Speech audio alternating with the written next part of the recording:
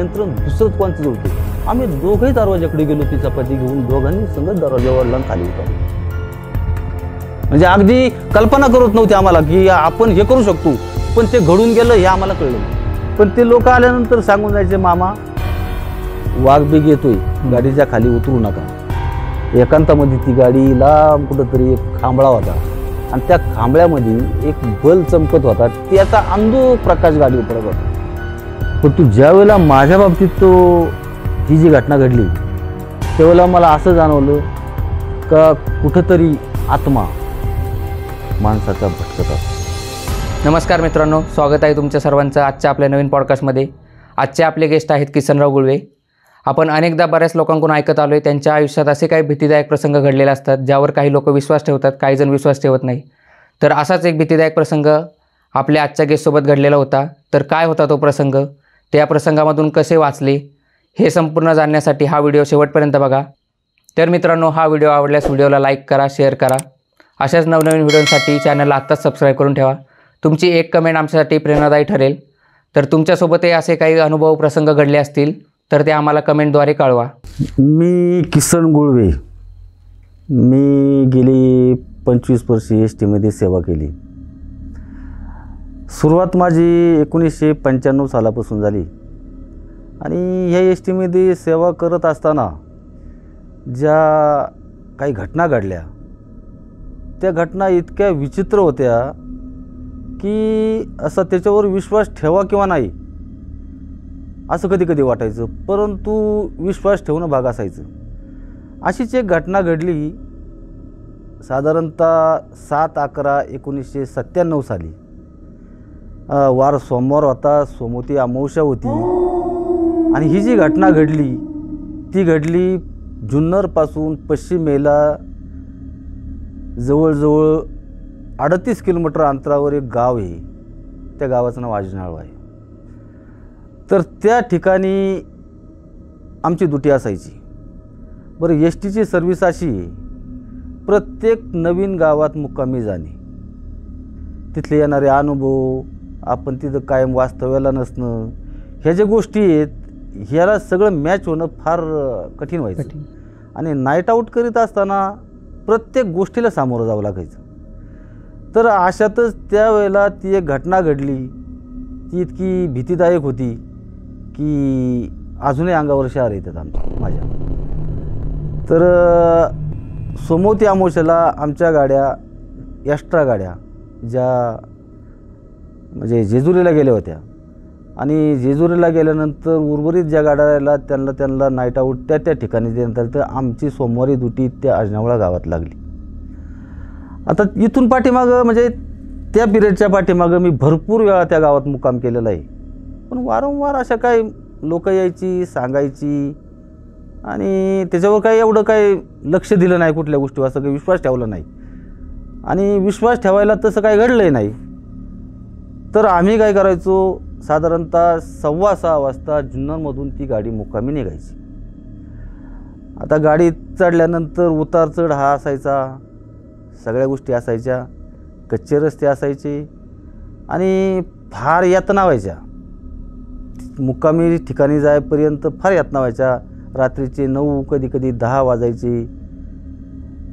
असंच आम्ही एक दिवस सोमवारी जुन्नरवरून निघलो.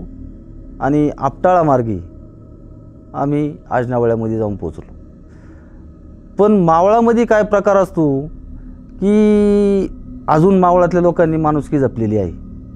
कमीत कमी माणूस त्या ठिकाणी गेला ड्रायव्हर कंडक्टर गेला ते लोक येतात त्याची विचारपूस चांगल्या पद्धतीने करतात त्यांना पाणी देतात. ह्या सगळ्या गोष्टी करतात तिथं अजून. म्हणजे अजून एस टीमध्ये सेवा करणाऱ्या ड्रायव्हर कंडक्टरची सेवा ते लोक चांगल्या पद्धतीने करतात. किंवा त्यांच्याकडं काही डबा नसेल किंवा काय नसेल त्या वेळेला ते आणून पण देतात. आणि त्या ठिकाणी नाईट आऊट केला जातो. मग त्यावेळेस जो तुमचा मुक्काम असायचा तो तुम्ही ड्रायव्हर आणि कंडक्टर दोघेच असायचे? हो. तर त्यावेळेस तुम्ही त्या जेव्हा गावात जायचे मुक्कामाला रात्रीचं पर रात्री हम्म. गाड्या लेट पोहोचायच्या. हो. तर त्यावेळेस तुम्ही मग एसमध्ये झोपायचे किंवा डेपोमध्ये अं, झोपायचे? तुम्हाला असायचे? तेच सांगतो. तर एस टी महामंडळाने अजूनही कुठल्याही प्रकारची म्हणजे अशी ही दिलेली नाही सवलत दिलेली नाही की गाडी सोडून त्या गावामध्ये एखादा रूम किंवा काय अशी घटना अजून घडलेली नाही महाराष्ट्रात कुठंच.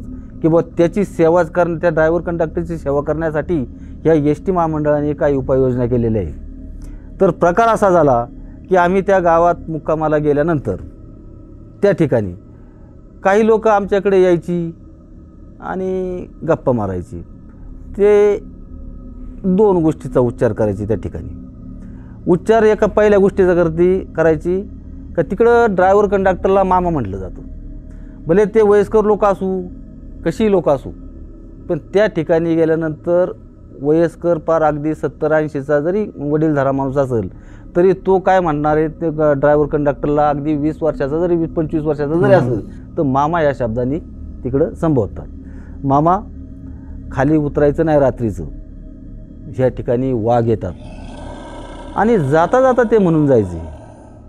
आणि सगळ्यात महत्त्वाचं जाखणाबाई येते अच्छा. म्हणजे आता ह्या ठिकाणी तुम्हाला मला हेच सांगायचं आहे. आता ह्या इथून पुढं जो अनुभव आला तो अनुभव म्हणजे आमच्या आयुष्यातला सगळ्यात डेंजर अनुभव. म्हणजे असं कधी घडलं नाही आणि घडणारही नाही कोणत्या बाबतीत.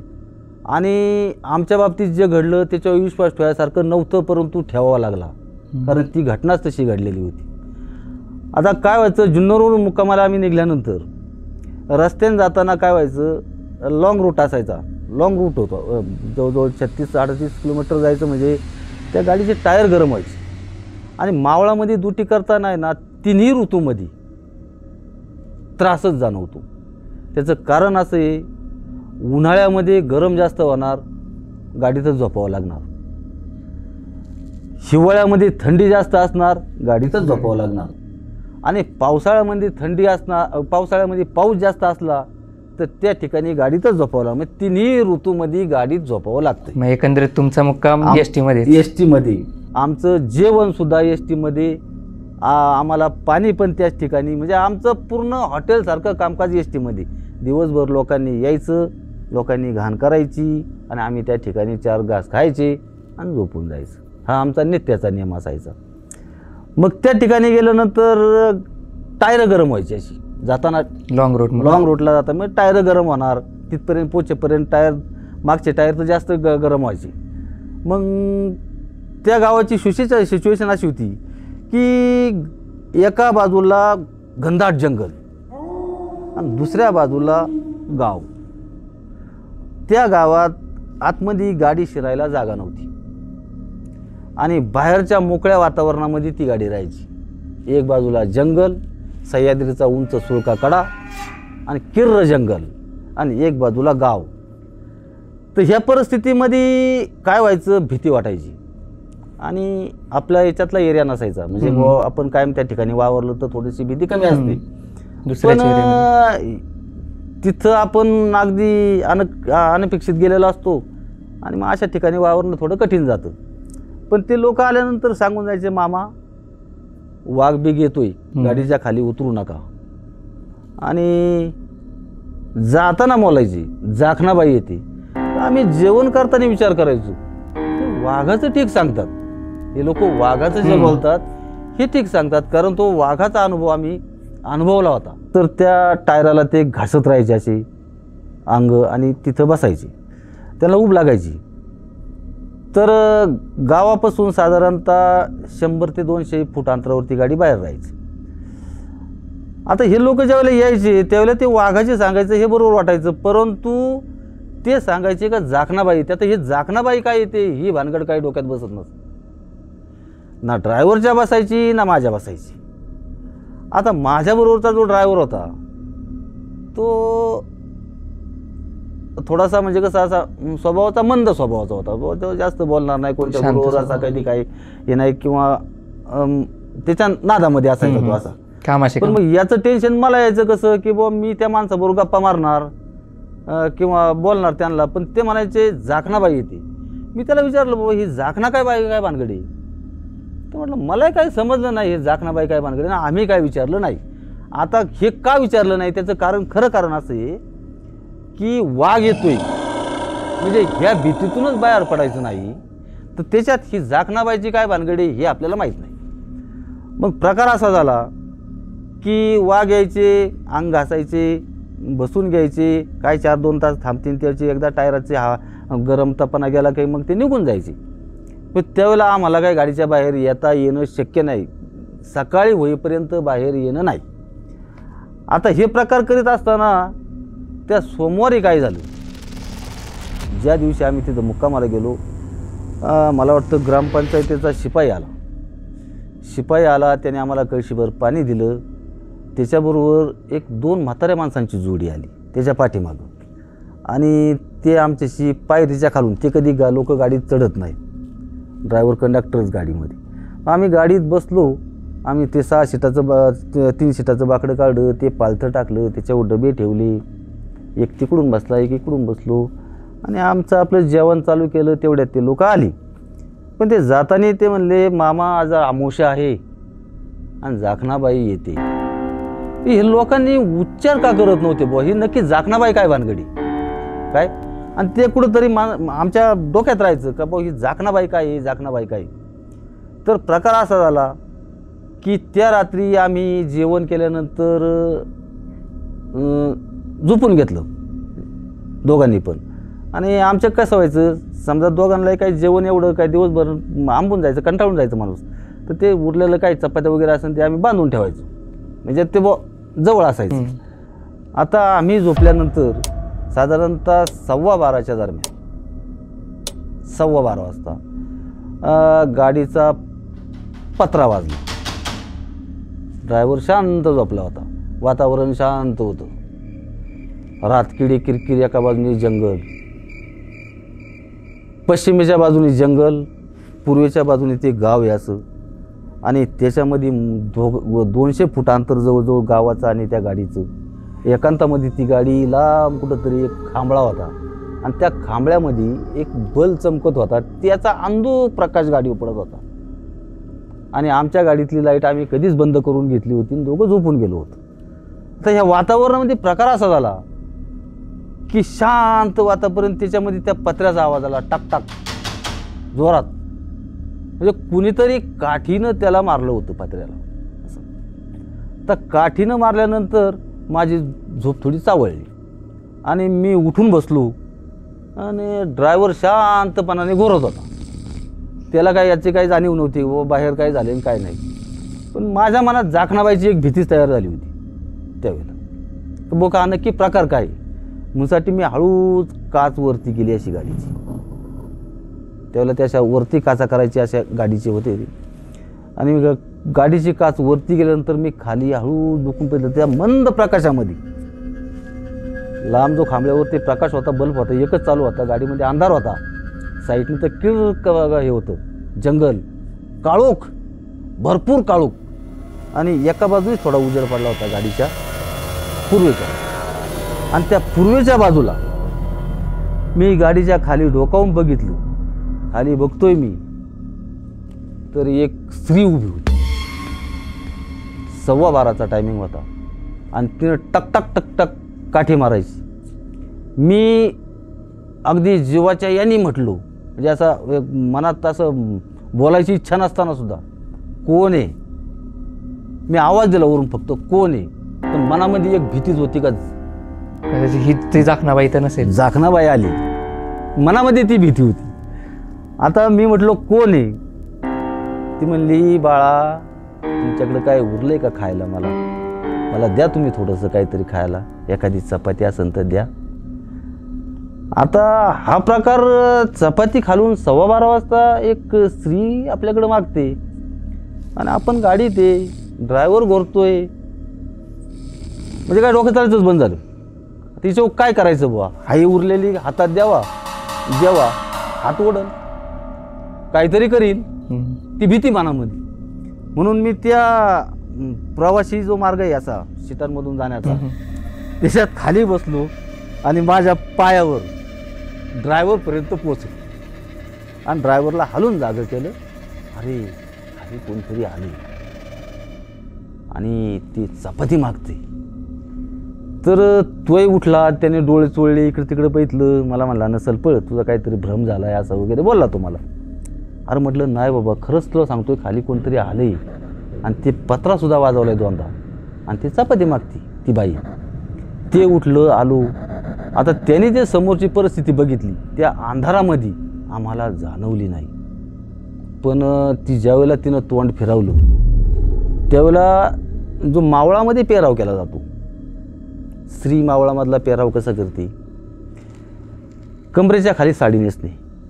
फक्त कमरेच्या खाली साडी नेसणे कासोट्याची साडी आणि वरती फक्त ब्लाऊज घालणे. असा पेराव असतो त्या लोकांचा तिकडं. आणि त्या बाईचे केस मोकळे होते. हातामध्ये वाकडी तिकडी काठी होती. ती साधारणतः इखळीची काठी असावा. कारण इखळीची काठी का असावा? का त्या आकाराच्या काठ्या इखळीच्या असतात.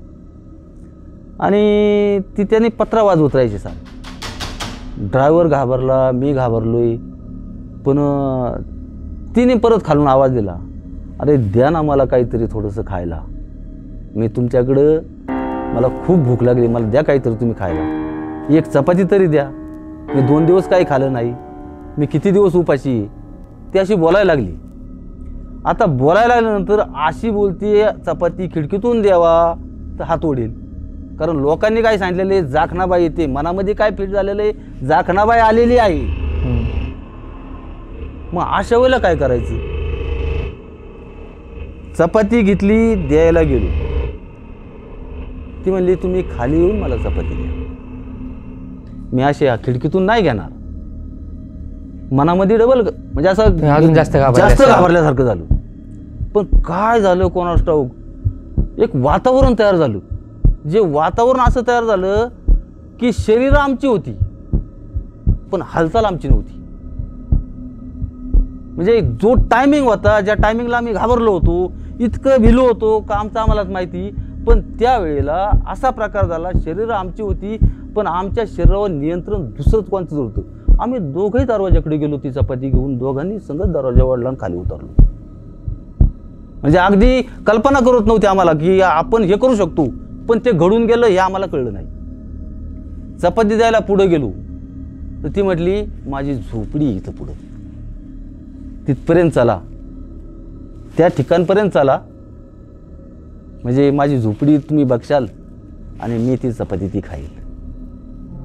त्या अंधारामध्ये आमच्या पायात चप्पल नाही बरं का? आम्ही चप्पल घातली नाही. कारण आमच्या शरीरावर आमचा ताबा नव्हता.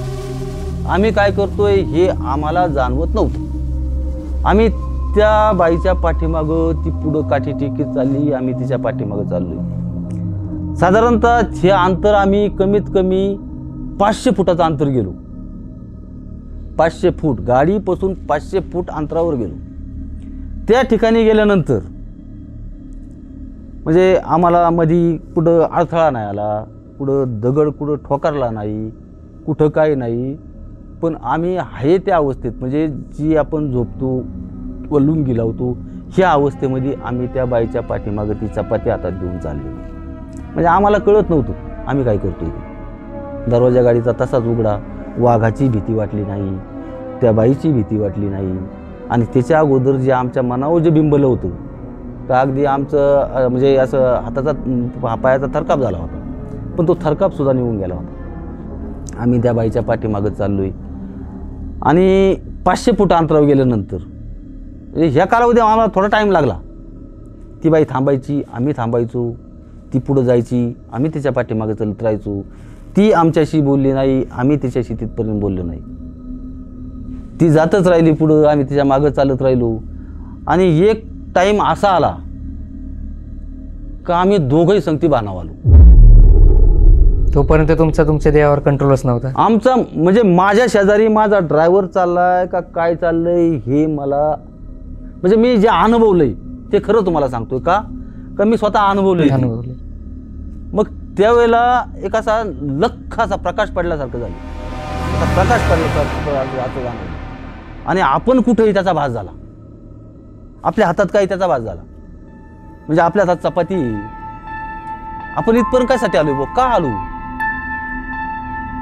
कोणच्या पाठीमाग आलो बरं दोघंही आलोय. गाडी पाचशे फूट लांब अंतरावर आहे. पण हे असं का घडलं?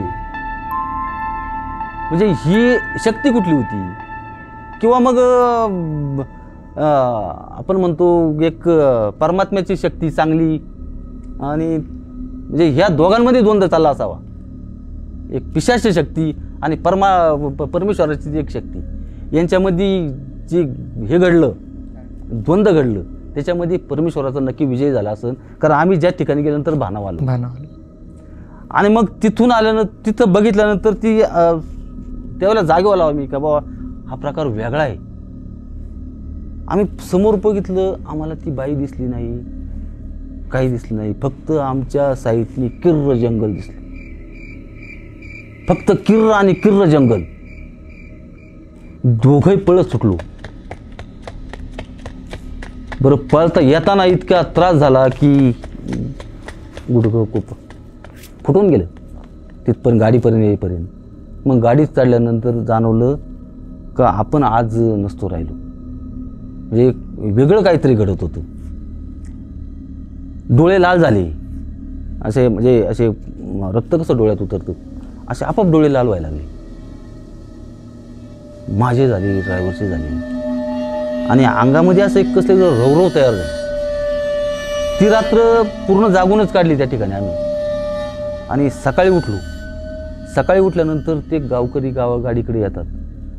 रात सकाळी थोडं लेट उठलो म्हणजे लेटच गाडीच्या खाली येणं असं शक्यच होत नव्हतं की बाबा आपण आपला टायमिंग झालेला आहे आपण जायला पाहिजे ड्युटीवर असं असं काही जाणवतच नव्हतं. मग ते गावकरी आल्यानंतर त्यांना तो रात्रीचा किस्सा सांगितला. मग त्याच्यामध्ये जाणकार मंडळी वयस्कर वृद्ध लोक लोक होते त्याच्यामध्ये. ते म्हटले मामा तुम्ही रात्री वाचलात. मग त्या परमेश्वराची कृपा असेल ती पण तुम्ही वाचलात. मग त्यावेळेला त्या जाखणाबाई काय होती आणि काय होतं त्यावेळेला त्याचं आम्हाला म्हणजे माहिती भेटली. तर ही जाखणाबाई त्याच गावातली राहणारी एक स्त्री ती ज्या ठिकाणी अं, हा किस्सा घडला त्या ठिकाणी तिचं अपघाती निधन झालं होतं. आणि ती अशी गावकऱ्यांना त्या ठिकाणी दिसायची. ती गावकऱ्यांना त्रास देत नव्हती. पण गावकऱ्यांच्या निदर्शन द्यायची ती.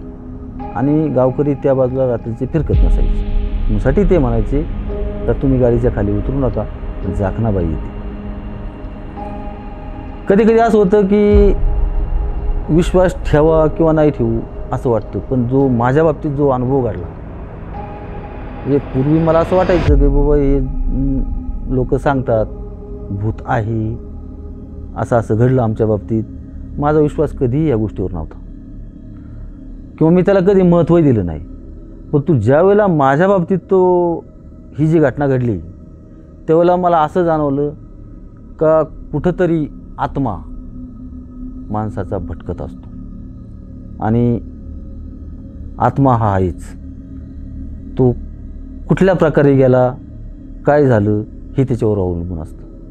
तसं तो जाखणाबाईचा आत्मा हा एक असा अपघाती गेल्यामुळं तो त्याच ठिकाणी भरकटत राहिला. आणि तो माझा माझ्या जीवनातला म्हणजे कलाटणी निदानाला अनुभव ठरला.